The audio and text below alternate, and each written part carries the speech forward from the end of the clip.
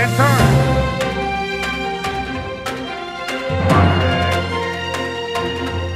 morning. I'm your host, Kamari Faison. And I'm Ansley Wilkerson. And, and this, this, is, Around Cape Fear in Five minutes. minutes. On September 28th, three students auditioned for North Carolina Honors Chorus. Out of 1,000 potential auditioners across North Carolina, 176 were chosen.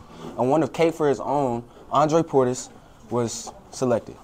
Congratulations to Andre and his placement in the North Carolina Honors Chorus. All county audition tutoring will begin October 16th at 3:45 to 4:30 in the chorus room, room 128. All students enrolled in chorus for fall or spring of the 2023-2024 school year is eligible. For more information, see Mr. Britt in room 128. Cape Fear DECA is holding their first chapter meeting after school in Miss Cox's room 226 from 4 from 3:45 to 4:45. Please be on time. The Skills USA meeting will be moved to Friday morning, October 13th at 7:45 a.m. Everyone enrolled in Mr. Casey's, Mr. Black's, Miss Norton's, or Miss Woodlock, Miss Woodcock's is automatically enrolled in Skills USA and is welcome to attend the meeting and learn more about Skills USA as a CTSO.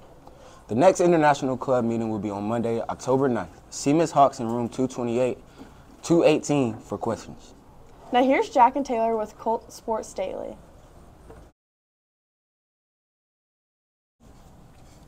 Thanks, guys.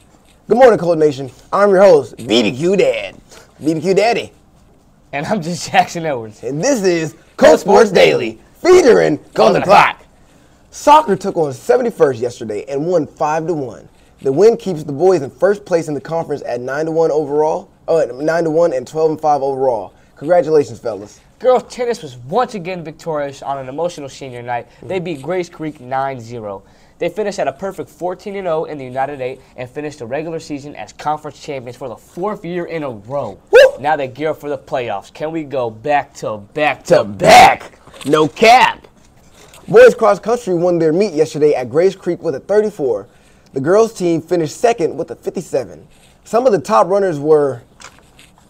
Oh, thanks, well, Owen. thanks, Owen. Uh, some of the top runners for the girls were Lake and Clevenance with the 24.36, Amelia Osornio with the 27.23, and Kamaya McNeil with a 28.51. Woo. Good job, ladies. And for the fellas, Benjamin Castro Locklear with the 1944. Khalil Marshall with the 2004. And Jordan Price with the 2102. Let's give it up. Congratulations for our cross country team. Volleyball is home this evening for senior night. The ladies will take on Jack Britt. Come help support our championship team as they move to close out the regular season. Good luck, ladies. Sink the ship, hijack the Brit. Woo! And that does it for Colt Sports Daily. I'm BBQ Daddy. And I'm just Jackson Edwards. And this was Colt Sports Daily, featuring Golden the Clock. Back to you. Thanks, guys.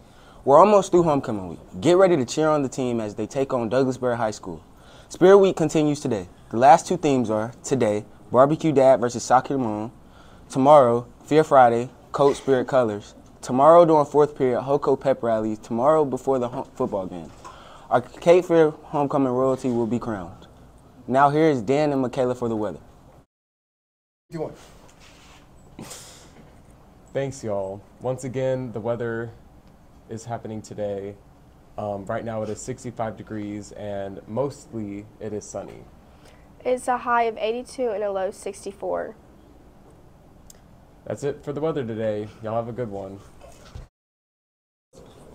Thanks, guys. Varsity Girls Lacrosse will hold an interest meeting today directly after school in room 108. All are welcome, and they would love to have you stop by to see what lacrosse is all about.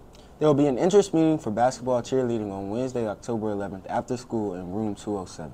Indoor track will have an interest meeting Wednesday, October 11th in the Ox Gym. Now we will highlight a notable Hispanic figure, American figure from American history. Today we celebrate the contributions of Antonia Novello. She was the first woman and the first His- Hispanic woman to become Surgeon General of the United States. As Surgeon General, she focused on the health of young people, women and min- minorities, and spoke against drinking, smoking, and drug abuse. Two.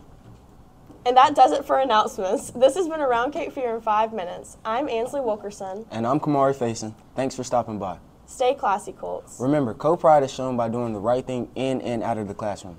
Make, Make it, it a date, date, really Coach. cool. Everybody